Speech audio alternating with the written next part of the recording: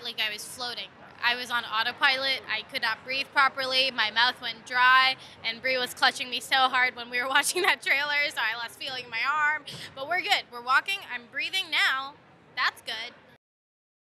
It's really exciting. It just being at work and being surrounded by so many cool women on and off camera, and the fact that this is my second job, and I've been lucky enough to work with crazy talent. And Nia DaCosta is a powerhouse, and literally brings out all the nuances and emotional complexities in our character that we didn't even know we had in these action scenes. And so I think it's really driving the MCU in a different direction, and this movie is going to be hopefully quite refreshing for everyone to see. Just being here, I, I this is my first convention, so check that off the list. Pretty good place to start.